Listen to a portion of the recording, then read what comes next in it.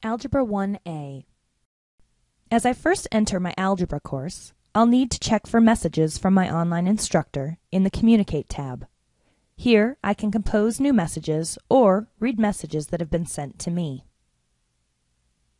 Next, I'll head to the Lessons tab where I'll spend the majority of my in-class time. I'll first set up my tracking sheet. When I type my start date into the top line, it'll help me to stay on pace with my assignments and finish my class on time. My course is organized into unit folders. I can't access the second half of my class because my online instructors place locks on the folders so she can make sure I really understand it before I move on.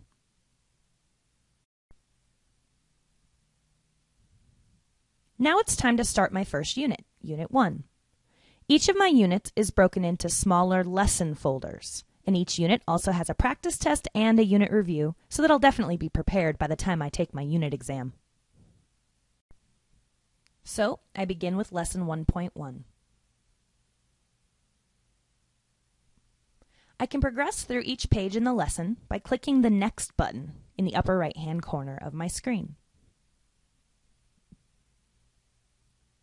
Through the course of my lessons, I'll not only read instruction, I'll also encounter flash-based practice opportunities, practice quizzes,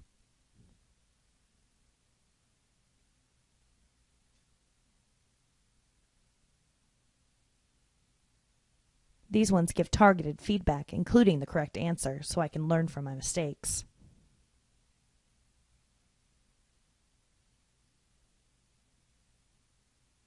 Unit projects that require not just solving math problems, but critical thinking and writing skills too. And of course, my unit practice test. I have to get an 80% or better on my practice test to access my unit exam. It doesn't really count for much of a grade, but I like knowing that I can take it as many times as I need. This class isn't at all what I thought an online math course would be. I love that there are real world problems on topics that I care about. There are also online manipulatives that I can use to help me move things around and visualize the problems in a different way.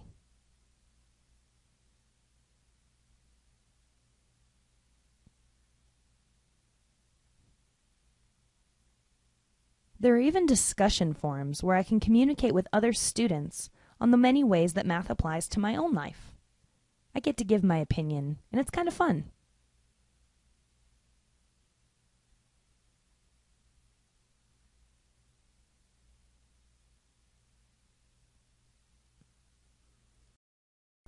Let's face it, we don't all learn in the same way. And when I just want to sit back and watch someone do the problem for me, I can watch one of the many video tutorials. He walks me through these problems step by step. And anytime I want to know how I'm doing, day or night, I can just run my grade report to see grades that have posted and any comments from my teachers.